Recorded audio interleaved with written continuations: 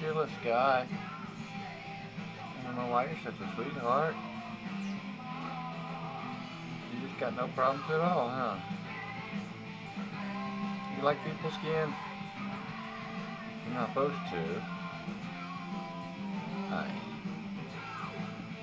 Chimpy spider. Hi. He's scary. You're so pretty guy.